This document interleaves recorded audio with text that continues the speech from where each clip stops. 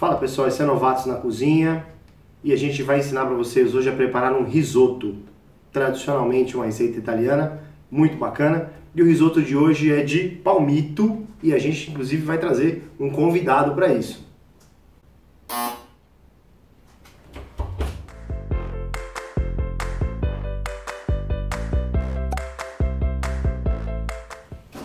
Nosso convidado, Pedro. Fala pessoal! Hoje de Papai Noel, inclusive. Então, enquanto o Pedro vai preparando aqui o palmito pra gente, ele vai explicar para vocês o que ele vai fazer, eu vou ali já começando a cortar a cebola e depois a gente vai pro fogão para ensinar o restante do preparo do risoto. Vamos lá, Pepe, contigo agora. Bom, a gente vai cortar agora os palmitos para colocar no risoto, né? A gente vai cortar em rodelas.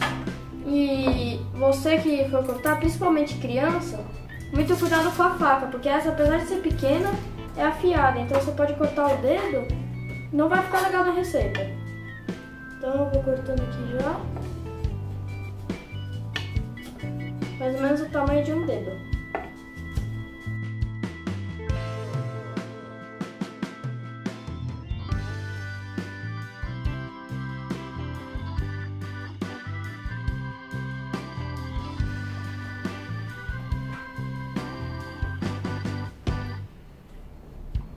Isso aí cuidado, deixa eu já limpar o meio de campo aqui, ó. Mais fácil.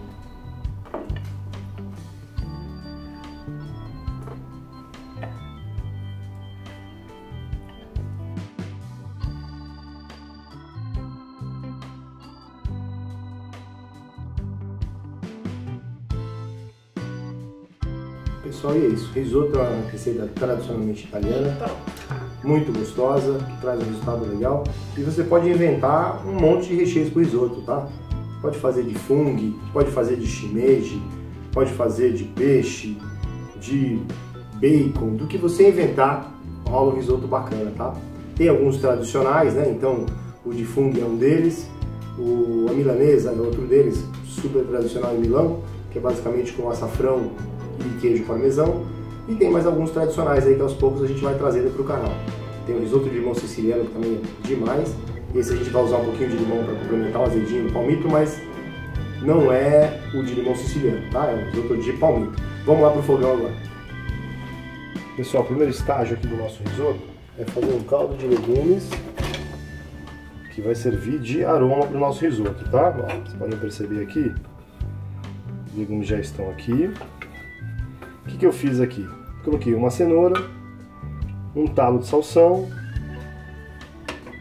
e um talinho de salsinha, uma pitadinha de sal e deixei cozinhar aqui por uns 15, 20 minutos fervendo no fogo baixo. Então o meu caldo de legumes super perfumado já está pronto para o risoto. Agora vamos para o preparo da cebola. Vamos usar uma panela, um pouco de azeite, Quanto de azeite? Não muito, tá? Mais ou menos uma colher de sopa.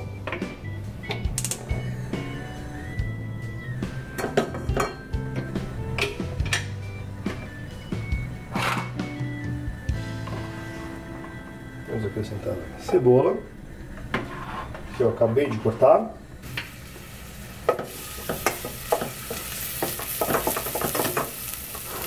A ideia, pessoal, é só dourar essa cebola, mas não deixar que ela queime, tá? Então seu risoto vai ficar amargo. Olha. Isso aí.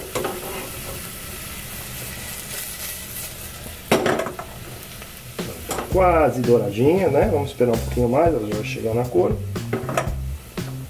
Olha, pessoal, minha cebola tá começando a dourar, tá?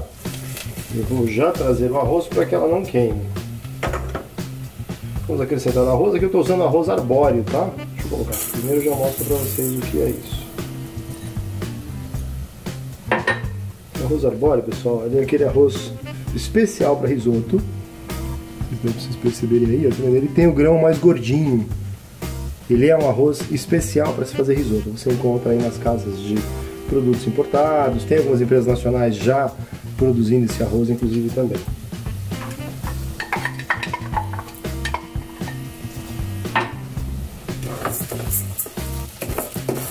Misturar para ele não deixar queimar a cebola. Então ele vai misturar o arroz com a cebola.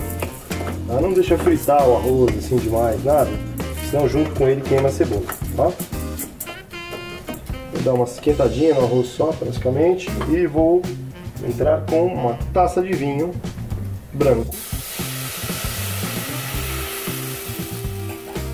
De preferência seco, tá? Se você já estiver com um suave aberto, estiver usando para outra coisa, tudo bem. Mas o ideal no risoto é um vinho branco seco, um vermelho seco. Vou esse restinho aqui.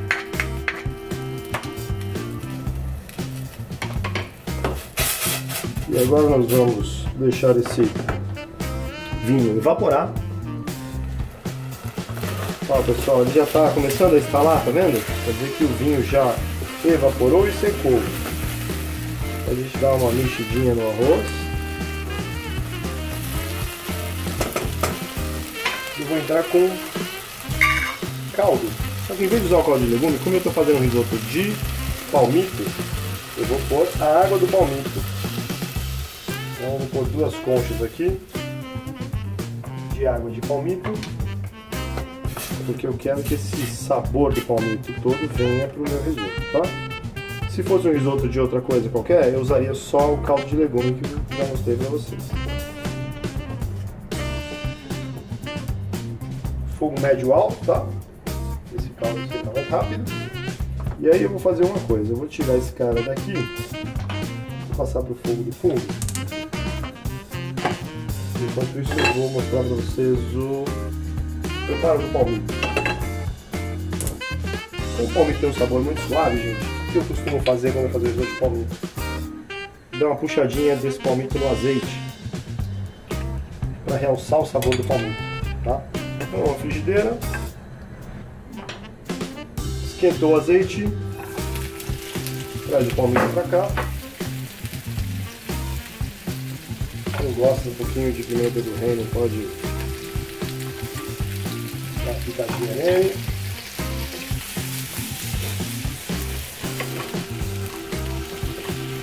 Estivesse salteando um legume mesmo, tá? Pode ser com azeite, pode ser com manteiga, tá? Como a gente vai usar manteiga depois do risoto, eu prefiro saltear o palmito no azeite, dá mais um sabor aí bacana. Vamos ver nosso risoto, ó. Ainda tem bastante caldo. Pessoal, opcional para quem gosta do risoto mais amarelinho, você pode pôr uma pitadinha de açafrão.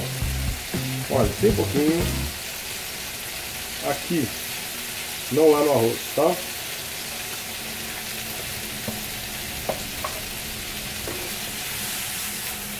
Olha que bacana. Porque primeiro que ele já vai colorir o palmito. Segundo que esse azeite que a gente usou vai reagir com o açafrão e deixar ele mais presente. Se você prefere o risoto branquinho também, é só não usar o açafrão. Pronto, vamos deixar nosso palmito de lado. Vamos trazer o arroz para cá. Olha só como já está secando bastante aquele caldo que a gente colocou. Mas ele ainda não está cozido, tá pessoal? Ó. Então agora a gente vai entrar, deixa eu secar um pouquinho mais, com caldo de legumes.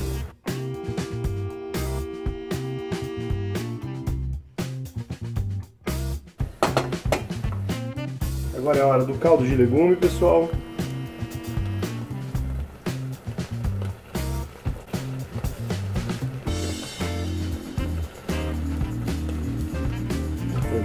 três conchas de caldo de legume.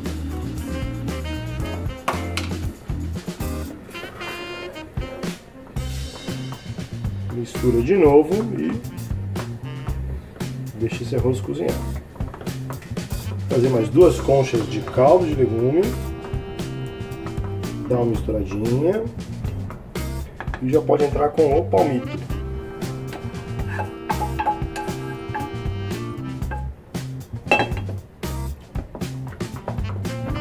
Esse amarelo do palmito vai ser transferido agora para o risoto.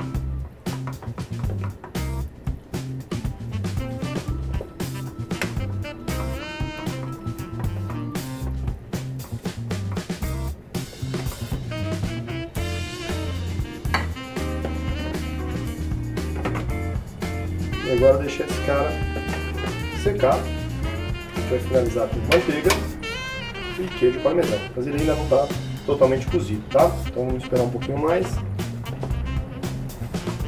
E aí, depende da safra do arroz, do tipo, etc tal. Se ele é um arroz mais novo, um arroz mais velho, etc, você vai precisando de mais caldo para ele chegar no ponto. Aí você vai observando o ponto dele e acrescenta mais caldo se for necessário. Sempre mexendo para não queimar o fundo, tá?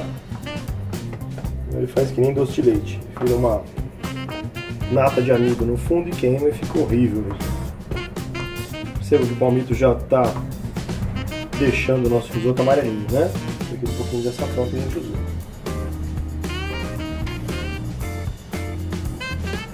Agora a gente pode também provar o sal.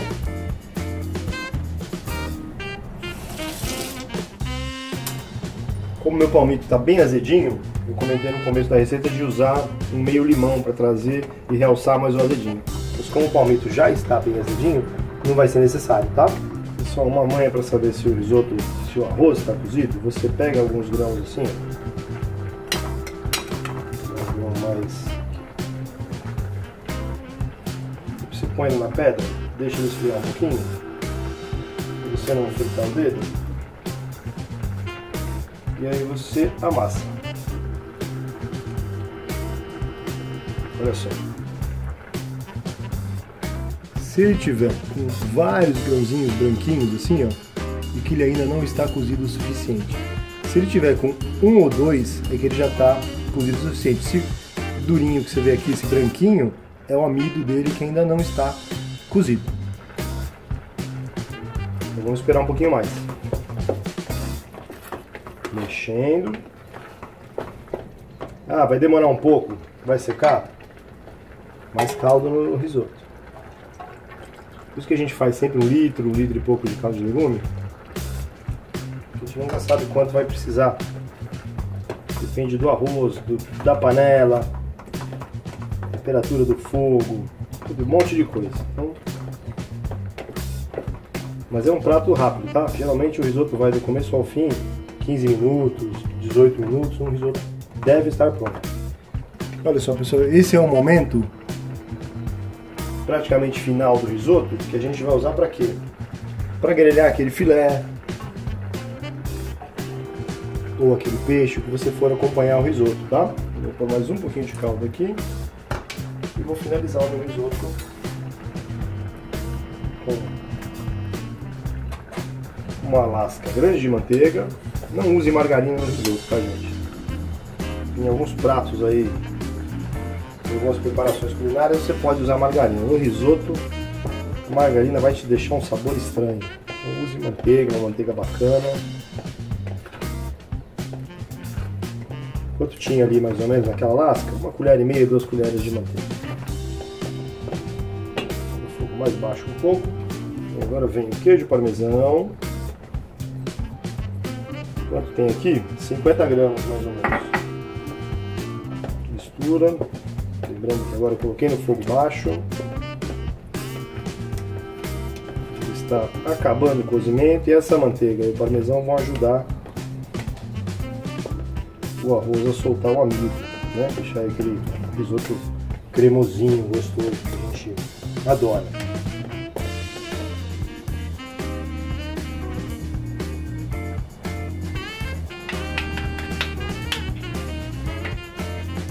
O teste no arroz, ver se ele já está mais cozido.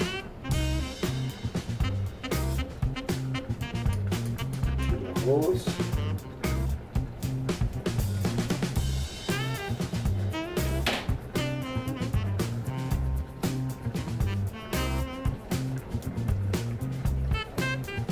Olha só pessoal, se dá pra ver se dá pra ver um foco dedo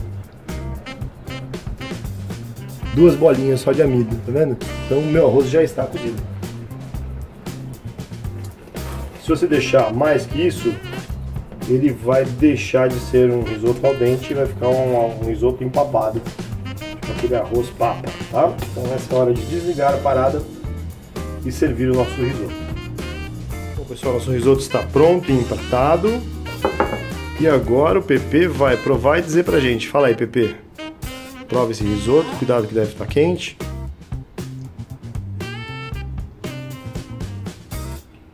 Muito Como bom. tá? Show de bola? Uhum. Então é isso, galera. Espero que tenham gostado. É simples realmente fazer risoto e até o próximo vídeo.